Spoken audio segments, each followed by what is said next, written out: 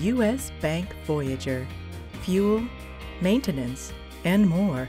Managing fleet expenses and payments can be a major challenge, especially without the right solutions. The U.S. Bank Voyager Fleet Program offers businesses a single source solution to help manage and control fleet fuel and maintenance costs.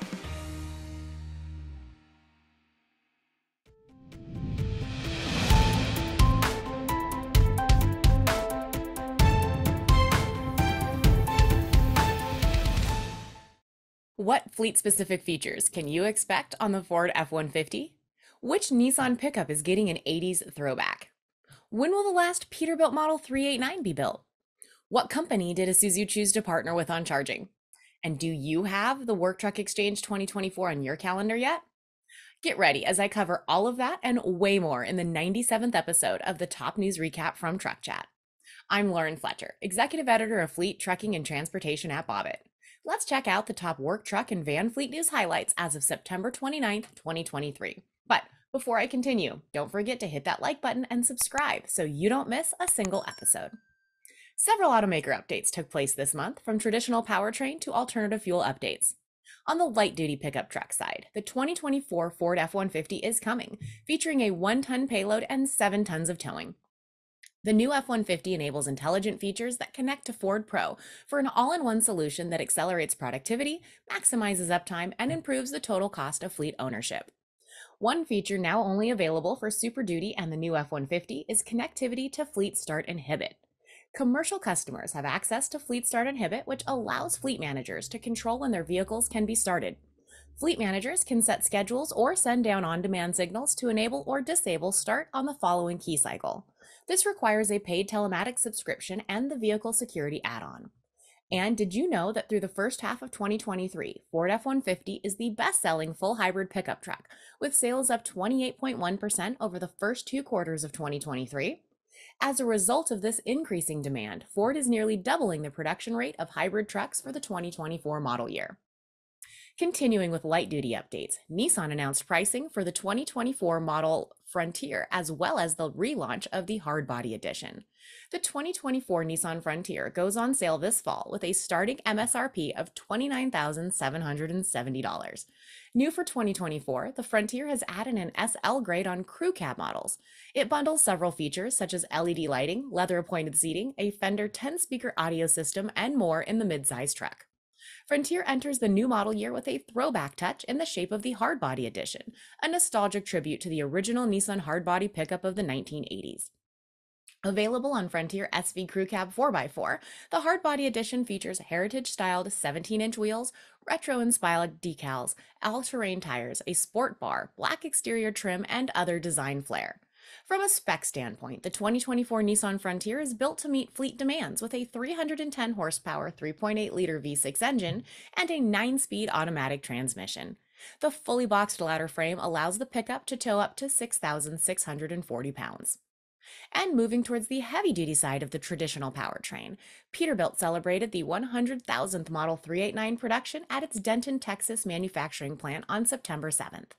The Model 389 was introduced in 2006, and this 100,000th truck represents the hard work of designers, engineers, and plant employees. As part of the celebration, Peterbilt presented the milestone truck with a limited release Model 389X Special Edition package to Massey Motor Freight, a nationwide freight shipping service based in Texas. But the milestone truck marks the end of an era. The Model 389 will end its historic production run at the end of the year. Its successor, the new Model 589 introduced earlier this year, is now available through order through any of Peterbilt's 425 plus dealer locations in North America. Model 589 production begins in January 2024 at Peterbilt's factory in Denton, Texas. Moving to alternative powertrain updates, Isuzu Commercial Truck of America has appointed ChargePoint, a provider of network solutions for charging EVs, as an official source to provide EV charging infrastructure, software solutions, and training to Isuzu dealers and customers. This follows Isuzu's March announcement of the 2025 NRR EV, a Class 5 battery electric truck in early 2024. Using their secure dealer credentials, Isuzu dealers can log in to a designated ChargePoint website portal. ChargePoint or one of its authorized channel partners will collaborate closely with the dealer and or customer to create a personalized electrification solution. It will also help identify potential incentives offered by state and local agencies and utilities. ChargePoint or its channel partners will be able to oversee every facet of the project, encompassing needs assessment, equipment procurement, installation, and charging training. And in additional electrification news, Fastenal Company has selected ZEVX for an operational trial to convert pickup trucks in its fleet to EVs. Sydney Dunn, Senior Vice President of Sales and Field Operations at ZEVX, expressed their dedication to supporting Fastenal and integrating EV technology into its last mile delivery fleet. Dunn emphasized their shared commitment to ambitious objectives, including reducing carbon emissions, enhancing efficiency, reducing costs, and prolonging the lifespan of existing commercial vehicles. Having completed the proof of concept stage, the announcement commences a six state trial in 2023. ZV, ZEVX's battery electric powertrain and power system products will be employed to retrofit up to 16 Fastenal vehicles and Mullen Automotive formally drew back the curtain in its new Class 3 electric truck in late August. The unveiling was held at the OEM's vehicle assembly plant in Tunica, Mississippi. Work truck was on hand to see the new Mullen 3 and the Mullen 1 compact electric van that will be built in the facility. The first Mullen 3 rolled off the plant floor a few days earlier.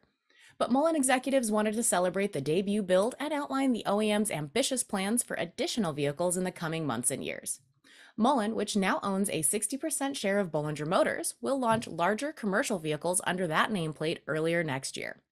Initially, Mullen will aim for the Class 1 compact van market with its Mullen 1 vehicle slated to begin production later this year.